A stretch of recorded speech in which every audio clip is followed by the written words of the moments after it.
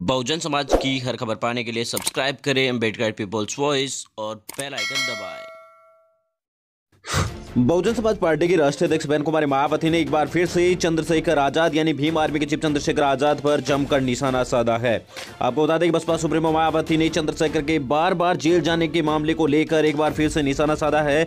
Baspa chief Mayawati ने कहा है कि चंद्रशेखर जानबूझकर जेल में जा रहे हैं। उनकी कोई ज़रूरत नहीं है। बिना वजह, वो जेल में जाकर बीजेपी को फ़ायदा पहुँचा रहे हैं।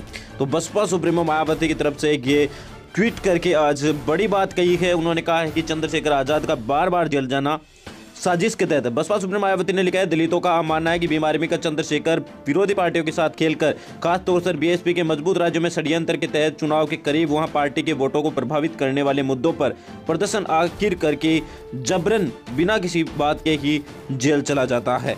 बसपा सुप्रीमो मायावती ने आगे लिखा है कि जैसे चंद्रशेखर यूपी का रहने वाला है, लेकिन सीएए और एनआरसी पर वह यूपी के बजाय दिल्ली के अंदर जाकर जामा मस्जिद वाले प्रदर्शन में शामिल होकर जबरन अपनी गिरफ्तारी करवाता है, क्योंकि यहाँ जल्दी ही दिल्ली में विधानसभा के चुनाव होने वाले हैं।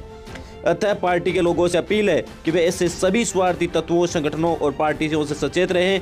ऐसे तत्वों को पार्टी कभी नहीं लेती है, चाहे वो कितना भी प्रयास क्यों ना कर ले।